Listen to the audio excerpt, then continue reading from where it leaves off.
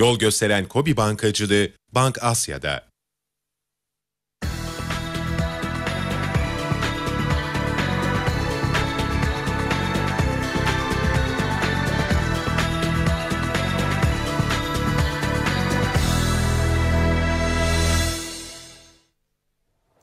Mutlu sabahlar değerli izleyenler. Paranın rotasına hoş geldiniz. Yeni günde ekonomi gündeminde öne çıkan başlıklara bakacağız. Doktor Yaşar Erdinç ile birlikte. Hocam günaydın. Günaydın Barış. Dün merakla beklenen FED toplantısı yapıldı.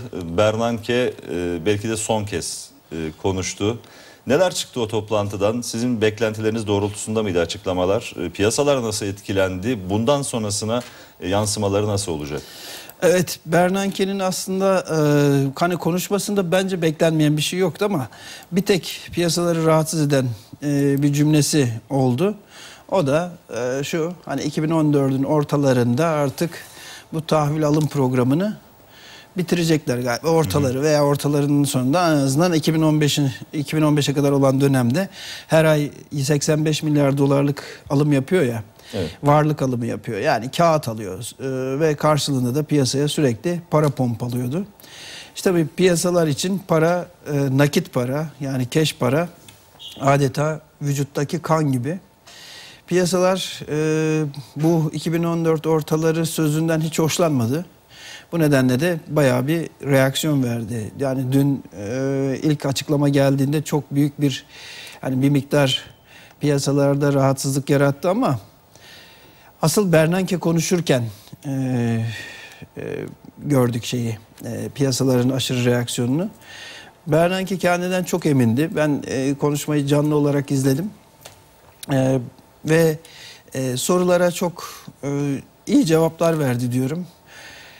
E, şunu söylüyor Bernanke. Diyor ki yani bu gaz fren olayını bizden mi duydu ne yaptı? Onlar da gaza ve frene vurgu yapmaya başladılar. Hani ben diyor frene basmıyorum. Sadece ayağımı gazdan biraz çekeceğim diyor. Ee, bu da şu anlama geliyor. Normalde 85 milyar dolarlık alım hala devam ediyor. Yani bu aydan itibaren azaltmıyor. Ama ekonomik veriler, e, ılımlı toparlanma devam ediyor ya birazcık daha vurgu yaptılar. Yani son gelen ekonomik verimle, verileri geçen toplantıya göre biraz daha iyi görüyorlar. Ve Bernanke şunu da söylüyor. Yani eğer diyor ekonomiden gelen verilere bakacağız diyor. Zaten piyasaların, piyasa oyuncuların kafasını karıştıran da bu oldu. Fikir değiştirebilirlerdi aslında. Ee, o da haklı, Bernanke de haklı. Ekonomik veriler hani beklenenden çok daha iyi gelmeye başlarsa daha erken e, azaltabilirler. Ama birinci altı çizilecek konu 85 milyar dolarlık alım devam ediyor. İkinci altı çizilecek konu bu yıl sonuna doğru ki bu Ekim olabilir. Eylül, Ekim, Kasım olabilir. 85 milyar dolarda bir miktar azaltmaya gidecekler. O azaltmanın miktarı konusunda kimsenin bilgisi yok ama genel olarak piyasa bir 20 milyar dolar mı azaltılır diye bakıyor. Ee, benim tahminim ilk aşamada 20 milyar dolar yerine belki bir 10 milyar dolar azaltma yapmaları. Bu tabii e, açıklanır açıklanmaz çok sert hareketler gördük e, piyasada. Yani Bernanke daha konuşurken daha doğrusu hareketler sertleşti. Zaten Bernanke 2014 ortalarından bahsedince bir de %7 dedi işsizlik oranı eğer şu an %7.6 civarında. Hani %7'ye geldiğinde tahvil alım programı da bitmiş olacak gibi bir anlam çıktı. Hı hı. Yani %7'ye geldiğinde tahvil yeni ekstra tahvil almayacak. Ama almayacak ama belki de vadesi gelenlerin e, satıp nakdi çekmek yerine belki çevirebilir vadesi geleni ama bilançoyu büyütmeyecek evet. e, belli bir süre sonra. Şu an bilanço ve Fed'in para tabanı büyümeye devam ediyor. Şimdi e, şunu özellikle vurgulayacağım.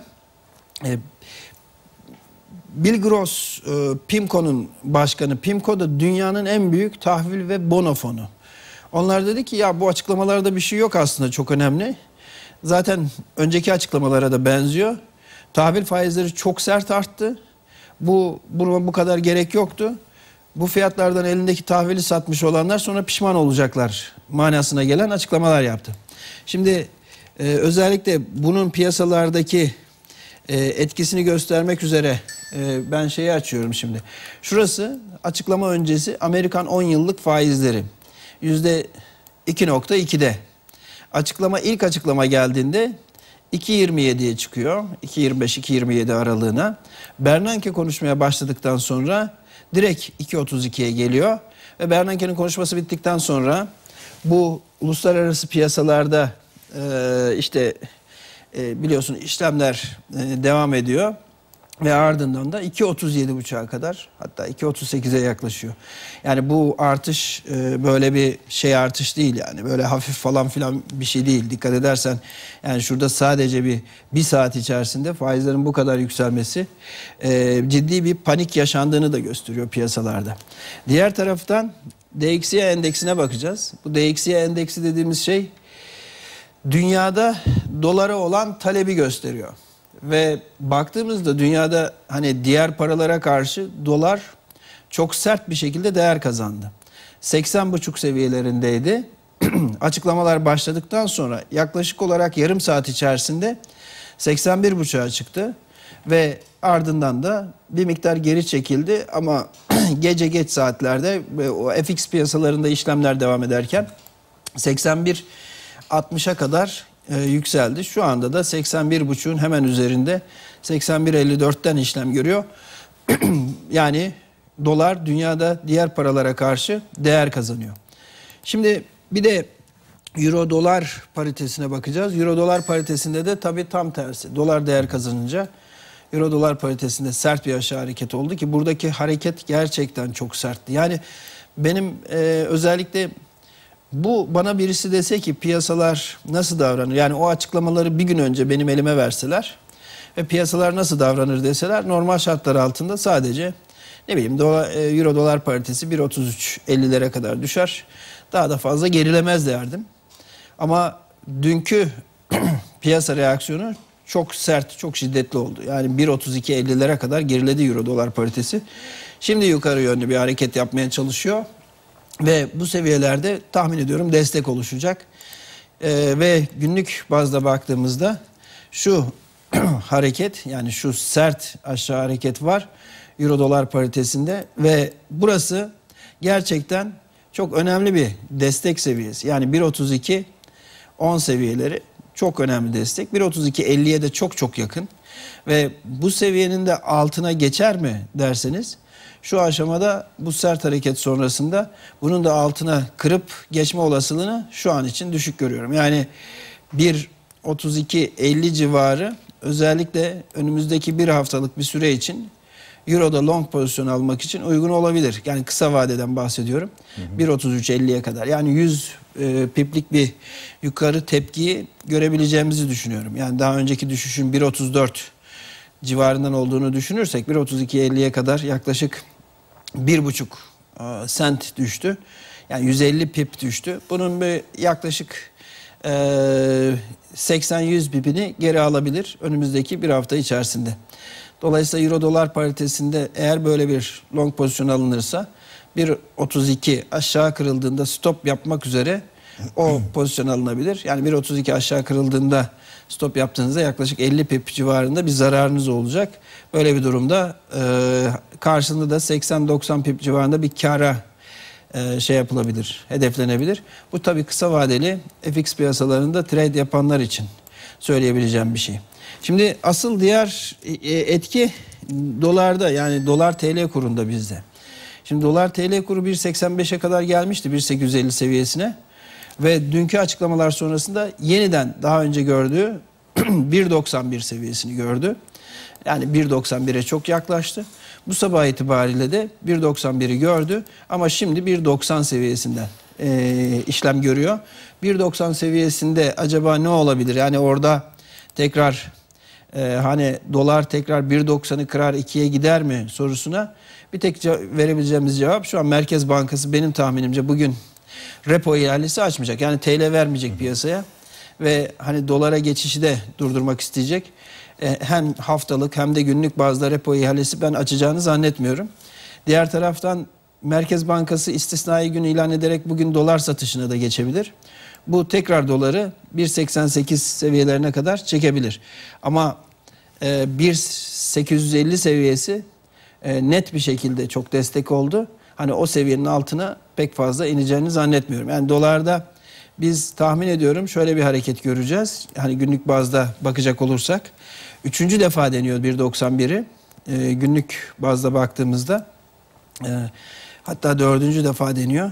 Daha önce 2011'in sonuna doğru bir Avrupa'daki sıkıntılar nedeniyle dolar 1.91'e kadar gelmişti TL bazında. Ve şimdi de benzer yeri bir daha deniyor. Ve burası üçüncü bir deneme. Tabii burayı da kırar eğer gitmeye kalkarsa ikiye doğru. Hani bu olmaz diyemem ama Merkez Bankası'nın da hiç izin vereceğini zannetmiyorum. Merkez Bankası bu bu seviyeyi kırdırtarsa eğer e, o zaman piyasada makro etkisi yani reel ekonomiye etkisi çok kötü olur. Yani insanlar artık kesinlikle önünü göremez evet. ve ne üretici ürününe fiyat belirleyebilir ve mecbur biz de şeye geçelim gaz fren tartışmasına mecbur frene basar. Yani 1.90'ın üzeri psikolojik bir sınır. 1.91'in üzeri. Hadi bir 1.92 diyebiliriz. Yani daha önce görülen en yüksek seviye 1.92 ama onun da üzerine çıkacak olursa bu ekonomiye de ciddi bir şekilde zarar verebilir. Yani bir önce iç siyasetteki gerginlik doları yukarı çıkartır. Şimdiki hareket ama tamamıyla dışarıdan kaynaklı. Ve e, bir de döviz sepetine bakacak olursak e, döviz sepeti hani yarım euro yarım dolardan oluşuyor. Burada da 2.20 seviyesi Merkez Bankası için bayağı bir referans seviyesi. Hem de çok psikolojik bir seviye. Bu seviyeyi yukarı kırar mı, kırmaz mı? Merkez Bankası'nın yine e, alacağı aksiyona bağlı. Hani Merkez Bankası'nın yalnız barış çok tabii ki böyle zamanlarda gerçekten şunu da görüyoruz. Hani siyasi kararlar hı hı. Ekonomik ve para politikalarını da ben etkilediğini düşünüyorum. Yani Merkez Bankası'nın bu aşamada normalde yani ben bir faiz lobicisi olduğum için e, normalde faiz evet e, normalde bu tür durumda faizi artırması lazım. Yani e, ne bileyim e, günlük alım miktarını sıfırlayacak tamam bu faizleri arttırır. Bugün hani gösterge faiz dün 6.81'den kapandı. Hı hı.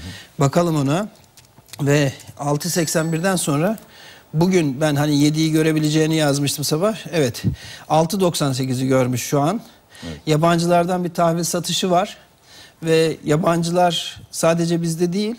Hani Amerika'da basılan dolarlar azalacak diye bir dolara geçiş yaşıyorlar. O yüzden dolar değer kazanıyor. Ve bu tahvil faizi de tekrar 7'ye geldi ki 7'yi aşarsa eğer hani 7'nin üzerinde kapanış yapar tekrar yukarı gitmeye başlarsa bu aynı doların 1.92'nin üzerinde kapanış yapıp 2'ye gitmesi gibi etkiler. Şimdi normal tamam grafiği alabiliriz arkadaşlar. Şu an şöyle bir durum var Barış. Ee, karar birimleri var diyorum ya. Hane halkı karar veriyor. Neye karar veriyor hane halkı? Ben tüketeyim mi tasarruf mu edeyim kararını veriyor. Evet. Harcama ya da tasarruf kararını veriyor. Üretim kararı. Yatırım yapayım mı yapmayayım mı kararı veriyor. Ama üretim sektörü hane halkını izliyor. Talep var mı yok mu? Onlar harcıyor mu harcamıyor mu? Böyle bir durumda harcarlar mı harcamazlar mı? Peki dolar bu kadar yükseldiğinde, döviz sepeti bu kadar yükseldiğinde benim maliyetlerim artar mı? Evet artar. Ben hangi fiyattan buna ürün vereceğim vatandaşa, hane halkına? Bir de devlet var sonuçta. Evet ekonomik birimleri üçe ayırıyoruz. Yani hane halkı, özel sektör ve devlet.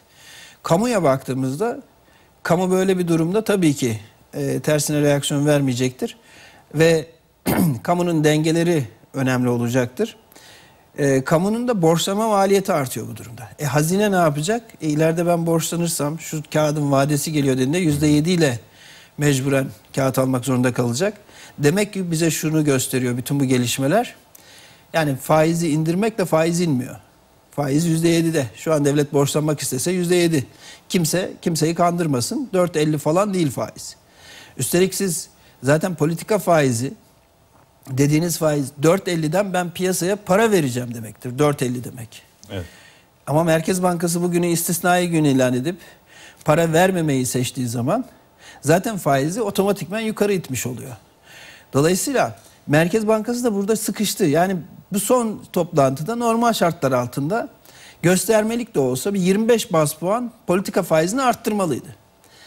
Ee, bu para politikasının bir gereğiydi. Yani şu anki şartlarda normal şartlarda, şu anki şartlarda sağlıklı politika o olması gerekirdi. Fakat ben tahmin ediyorum orada siyasi nedenlerle o kararı veremiyorlar. Yani orada e, Merkez Bankası zaten hiç vurgu yapmadı şeye biliyorsun. E, hani bu sermaye çıkışları gözleniyor ya sermaye girişinde azalma diyor. Evet. Küresel şeye bağlamıştı onu. Halbuki tamamıyla son iki haftadaki tahvildeki satış, hisse senedindeki satış e, tamamıyla bu e, olayların yaratmış olduğu gerginlikten kaynaklanmıştı ama şimdi bir de dış piyasalardan gerginlik gelmeye başladı. Şimdi bak son bir ayda gelişmekte olan piyasalardan 19 milyar dolar çekilmiş. E, gelişmekte olan endekslere bakıyoruz. Gelişmekte olan ülkelerin endekslerine. E, orada da e, dolar kaçışı var. Bu ne kadar devam eder, süreklilik arz eder mi? Evet. Bunu Merkez Bankası da değerlendiriyor ama bunun cevabını bilen yok. Yani bunun cevabını bilmek demek bütün piyasa oyuncularının fikirlerini alıp sen ne yapacaksın diye sorarsın ondan sonra.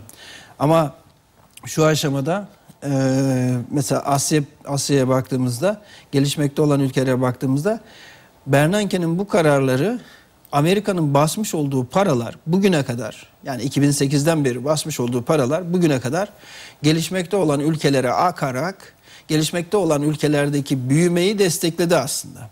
Yani bizdeki büyüme eğer cari açık 60 milyar dolar vermesek büyüme olabilir mi? Yani oradan para geliyor. Sonuçta o para burada bize borç yazılıyor ve biz de harcıyoruz o parayı. E harcayınca da büyüyorsun. Yani büyüme dediğin şey zaten şudur. Tüketim harcaması artı yatırım harcaması artı devletin harcaması artı net ihracat. Yani büyüme e, büyüme budur. Harcama yönünden milli geliri hesapladığımızda. E tabi harcayınca üretim de artıyor. Yani insanlar harcayınca üretim de artıyor. Bütün benim incelediğim krizlerde şu vardır ortada. Yani her zaman literatür 2008'e kadar yani bu büyük krize kadar e, normalde ekonomik krizler gelişmekte olan ülkelerin bir özelliğiydi. Yani onlar kriz yaşar. Avrupa gelişmiş ülkeler kriz yaşamaz şeklinde bir algı oluşmuştu. Yani 2008 bunu bozdu. Bunun öncesinde baktığında ülkeye gelen para toplu halde çıkmaya başladığı zaman seni krizle baş başa bırakıyor. Şimdi bunu burada şu an bir kriz yok. Yani bir ekonomik kriz vesaire değil ama volatilitenin artması ve volatilitenin çabuk düşürülememesi dalga dalga boylarının bir se- 91 sonra 85 ondan sonra tekrar 91 dolar. E, üretici ne yapacak burada? Nasıl karar verecek? Dolayısıyla şu an önünü göremiyor piyasa. Bu ikinci çeyrek büyümesine büyük bir darbe indirecek bence. Yani ikinci çeyrekte bir bu gezi olayları, iki bu volatilite, finansal piyasalardaki volatilite körlük yaratıyor. Ee, mecbur miyop oluyorsun. Yani sadece yakına bakabiliyorsun. Yani 6 ay vadeli veya bir sene sonraki bir sene vadeli bir yatırım da yapamıyorsun. Türkiye'nin tabii bir dezavantajı daha var. E, o da seçimler başlıyor. Yani 7-8 ay içerisinde yerel seçimler var. Seçim öncelerinde her zaman bizim ekonomide böyle bir e, ayağını gazdan çekmediğim olur. Üretici de bir durur.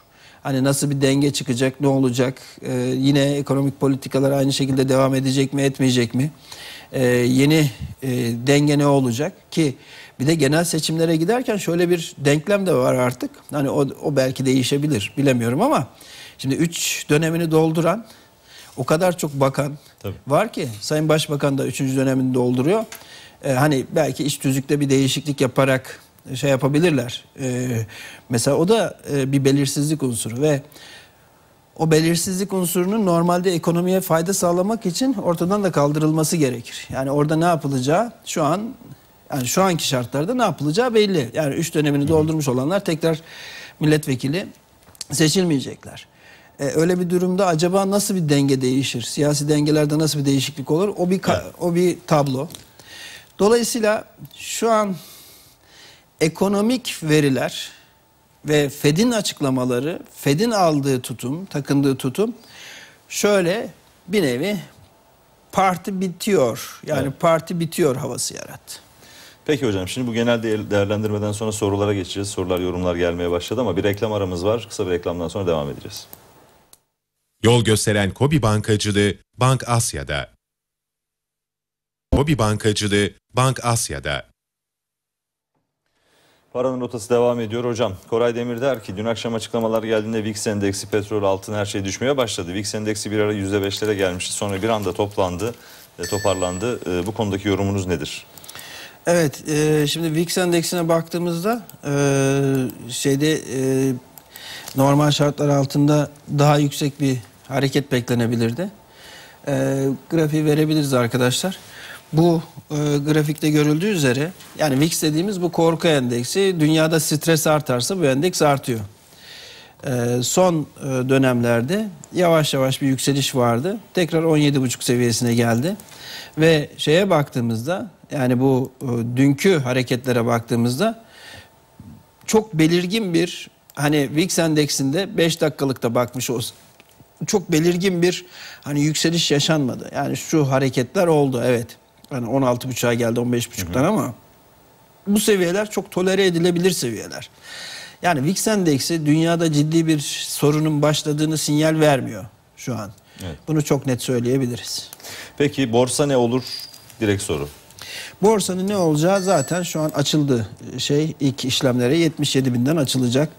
Ee, grafikte e, bir nokta olarak gözüküyor. İlk disket emirleri şurası. E, 77 bin seviyesi yani dün 78 bin 800'dü. Ben de 70 e, 76 bin 500'e 77 bin aralığında bir yerden açılacağını belirtmiştim. Bu aynen diğer olaylarda olduğu gibi bizim gezi olaylarında da nasıl çok sert bir düşüşle Evet. açılıyor. Benzer şekilde dış piyasalarda da zaten şey var. Şimdi şu seviye, şu seviyeden açılmış oluyor. Hani 77.700 civarından açılmış olsa çok sorun olmayacaktı. Burada önemli bir destek vardı. Desteğin altında açılmış oluyor.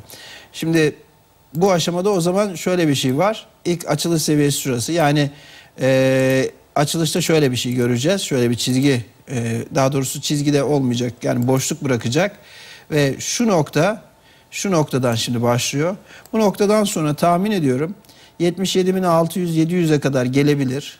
Bundan sonra tekrar düşer. 77.000'de destek yapmaya çalışır.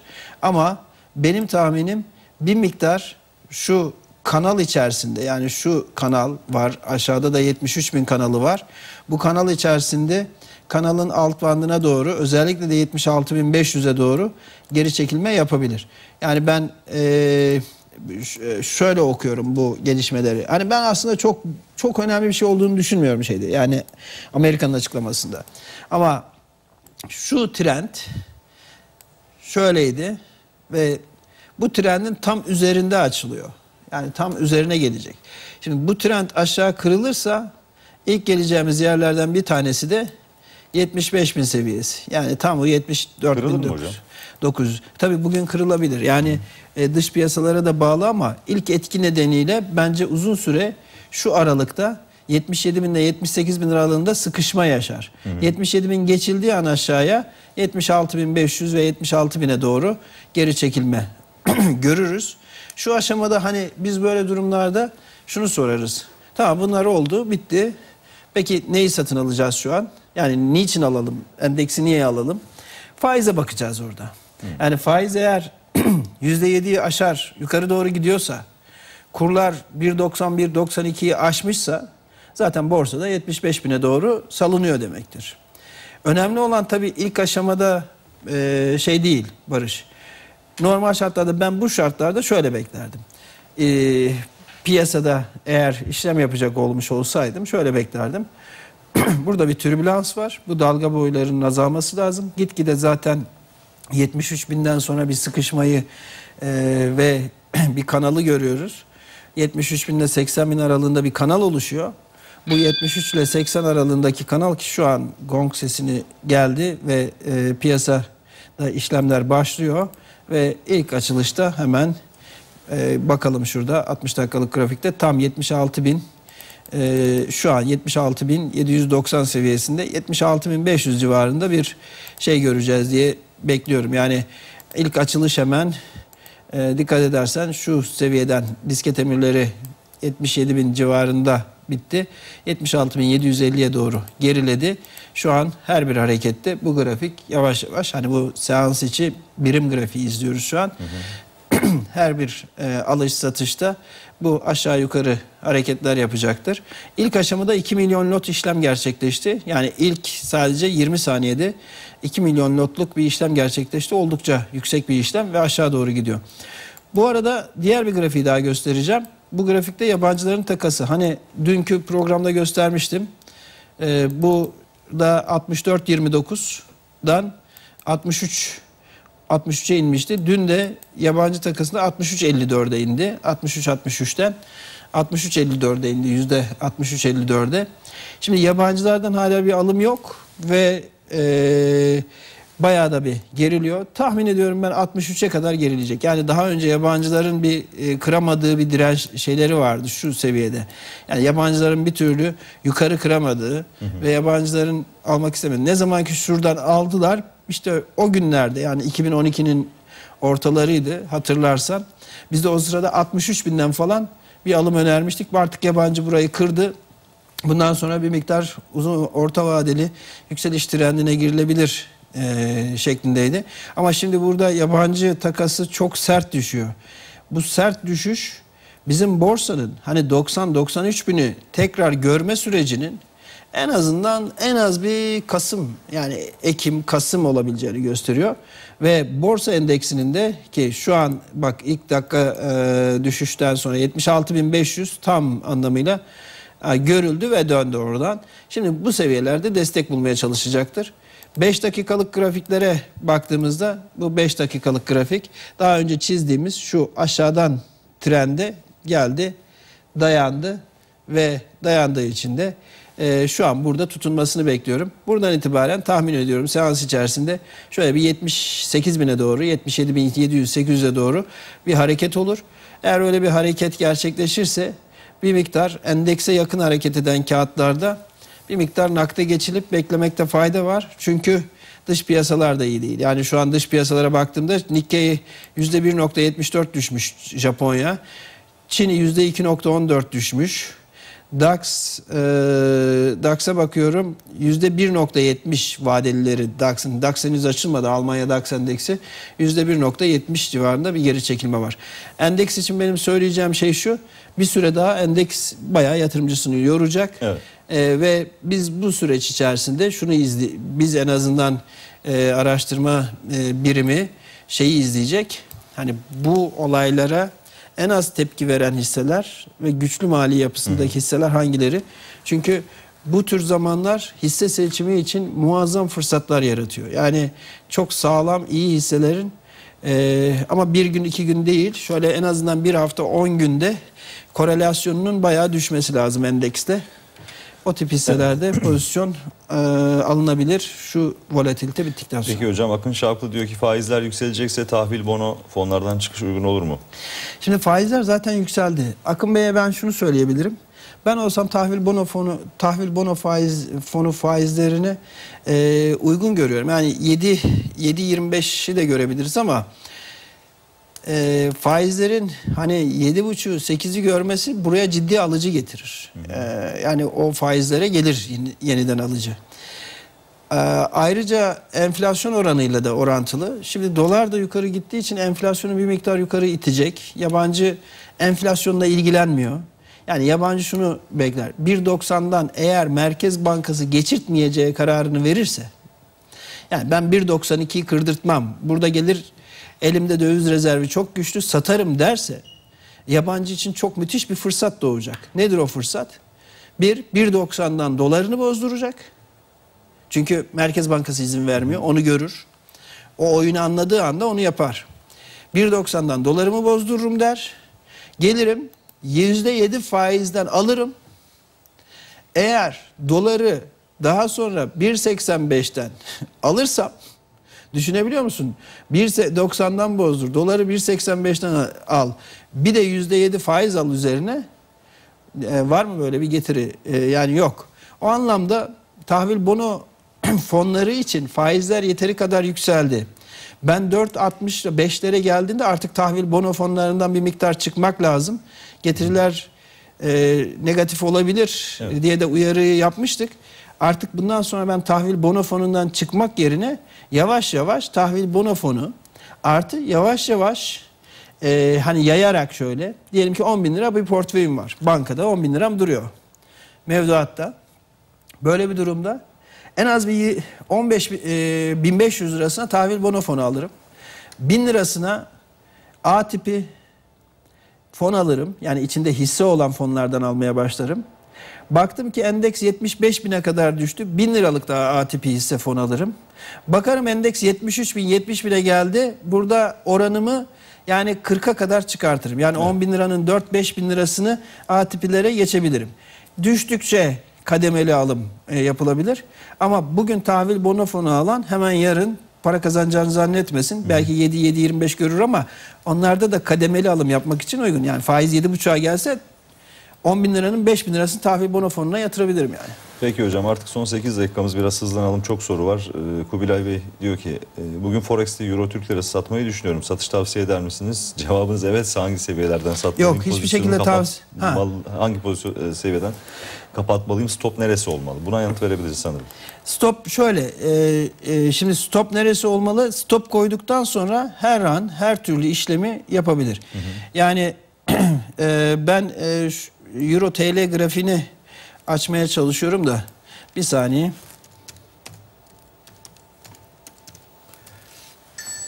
Ee, şimdi bak grafiği verelim arkadaşlar. Euro TL'de 2.53 e, görülmüş en yüksek. Bir kere sanayici ve iş adamları ihracatı euro olup euro geliri olacak olanlar forward'la bence euroda ihracat gelirlerinin en az bir yüzde otuzunu kırkını satsınlar zaten şimdi. Yani bankaya telefon açıyorsunuz. Ben iki ay sonra gelecek euromu şimdi satmak istiyorum diyorsunuz. Onlar da size bir fiyat veriyor. Banka fiyatı verirken şu an spot 2.53 olduğuna göre onlar da herhalde 2.55, 2.56 gibi bir fiyat verirler. Yani 2.55'ten satılabilir. Teknik olarak baktığınızda burada 2.53 çok önemli bir direnç. Ee, Euro TL'de. Ee, iki defa test edilmiş bir direnç. Ve burada aynı zamanda şurada zannedersem bir e, boşluk oluşmuş. 2.53 civarı ki şu an 2.52'den çünkü dün euro dolar paritesi düştü. Stop neresi olmalı? Stop bir kere 2.53.50. Yani 2.53 2.535 diyeyim. Stop 2.535. Buradan eğer short pozisyonu açarsa şunu bilsin ki hemen kısa vadede para kazanamaz. 2.52'ye kadar önümüzdeki iki hafta içerisinde ben gerileme beklerim. Merkez Bankası'nın kura müdahale edeceğini varsayarak yani evet. kura müdahale edeceğini varsayarak böyle bir durumda 2.53 2.53,5 e, seviyesi kırılırsa stop yapacak. 2.52'ye kadar 2.52 seviyelerine kadar şey yapılabilir. O da bir 100 pip civarında bir getiri demektir. Peki hocam altınla ilgili iki soru var. 1380'den ee, altın satış girmiştik. Şu anda yerine konur mu?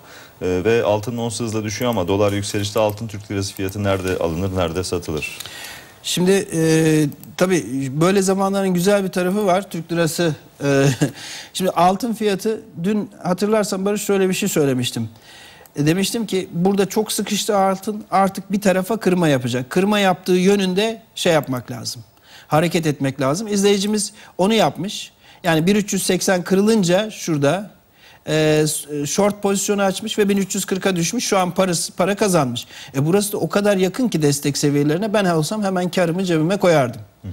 Yeniden short pozisyonu açmak için de 1320'nin aşağı kırılmasını beklerdim. Hani 1320 kırılırsa. Kırılır mı peki? Zaten bu haberi Sağır Sultan bile duydu ne olacağı haberini. Altın bence buralarda artık tam dibe geldi. Yani altını artık buralardan satın diyemem. Yani e, zor. E, zaten izleyicimiz satmış ve şu an karda. Yani FX piyasasında short pozisyonu açmış. Şu anda karda. Benim tahminim altın buralarda bir destek yapacak. 1.320'yi kırarsa zaten izleyici de altını olan da satabilir. Hani TL bazında konuşmuyorum. Ons bazında konuşuyorum. Bu seviyeden itibaren özellikle 1350-1360'a doğru bir hareket olduğunda FX piyasasında long pozisyon açılarak şu seviye kırılınca 1380 seviyesi kırılınca 1400 civarında satış yapılabilir kısa vadeli düşünenler. Eğer şeye bakacak olursak e, TL'ye bakacak olursak Hani dolar yükseldiği için altındaki düşüşten biz fazla etkilemiyoruz. Yani dün dolar 1.88'di şimdi 1.90 e, seviyesinde bulunuyor. O yüzden TL fiyat henüz bugünkü TL fiyat değil bu dünkü kapanış fiyatı bir miktar daha aşağıda olacak. Benim tahminim 81.5. Yani 81.5 seviyesinden açılır ve o seviyeden açıldıktan sonra da e, hani 80 destek olacaktır.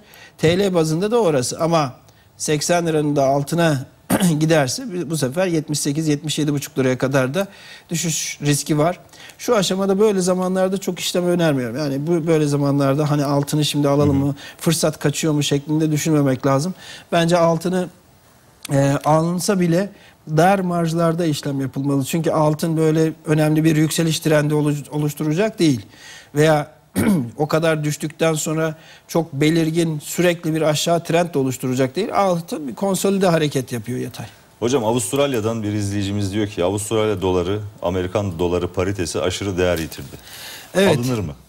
Valla ben olsam e, şu an hani grafik sanki al diye bağırıyor ama yani bak şimdi şurada e, şöyle bir hareket. E, teknik olarak çok kritik bir nokta. Burada bunlar büyük fırsatlardır aslında. Hani alınır mı diye soruyor ya bak şuraya değdiği an acayip yükseliş yapmış. Yani 93'ten e, 107'ye kadar gelmiş. 1.07'ye kadar gelmiş. 0.93'ten 1.07'ye gelmiş. Sonra yine buraya yaklaştığı bir yerde alım yapsam bir 95'ten 1.06'ya gelmiş. Yani altının 95 liradan 1.06'ya gelmesi gibi düşün. Şimdi ise teknik olarak en çok kontrpiyede bırakacak bir hareket yapmış. Yani desteğin altına girmiş. Evet. Teknik analist bunun e, şey yapmalı. Yani burası acaba şey mi? E, ayı tuzağı mı? Buna karar vermesi gerekiyor. Şimdi eğer ayı tuzağıysa burası yukarı dönecek demektir. Şimdi dünkü hareketi göz önüne alıyorum. Bak şimdi. Dünkü hareketi göz önüne alıyorum. Ee, dünkü harekette şu düşüş olmuş Avustralya dolarında. Ondan önce de bayağı bir sert düşüş olmuş. Şurada işlem hacmi çok yoğunlaşmış. Alan satanlar çok yoğunlaşmış. Burada herkes almış. Yani şu desteği gören, şu destekleri gören herkes nasıl olsa desteğe geldi. Bak burada da direnç var. Burası dirençti daha önce kırılamıyordu. Kırıldıktan sonra desteğe dönüştü burası. Destek, destek, destek. Bu yüzden burada işlem miktarı yoğunlaşmış ve herkes almış. Evet. Şimdi herkesin panik sattığı yer burası. Çünkü onlar stop olarak burayı koyarlar. Şimdi stop da aşağı geçildiği için herkes panik halde satıyor burada. E herkes satıyorsa almak lazım. yani O zaman alınabilir diyelim. Temel kural. Ben şunu söyleyeyim. E, alınabilir e, ama stopunu belirlemeden alım yapılmaz. Burada stop ne oluru hemen bir hesaplayalım Barış. Ondan sonra e, şey yapalım. Yoksa eksik kalacak yorum. Tamam hocam tamamlayalım kapatacağız. Evet. Ha tamam. Şu an stop dediğimiz yer tam 61.8 çizgisine gelmiş. Ee, dolayısıyla Barış e, benim tahminim e, evet buradan alınır ama 91 80 seviyesi aşağı kırılırsa stop yaparsa alıp çok rahatlıkla yani 92'den alıp 95 civarından satma imkanı olur veya orta vadeli Peki hocam tutabilir. süremizi doldurduk. Ee, Web sitenizin adresini bir hatırlatalım soruluyor. Ee, e, bilgeyatırımcı.com veya e, yeni açılan e, o yatırım danışmanlığı hizmeti verilen Gedik Yatırım'da o da paramı ne yapayım.com. Paramı ne yapayım.com ve bilgiyatırımcı.com'dan Evet. size ulaşılabiliyor. Teşekkür ediyorum. Ben Süremizi teşekkür doldurduk. ediyorum. İzleyicilerimize de katkılarından ötürü teşekkür ediyoruz. Biz bir ara vereceğiz. Aradan sonra yayınımıza bugünün gündemiyle devam edeceğiz.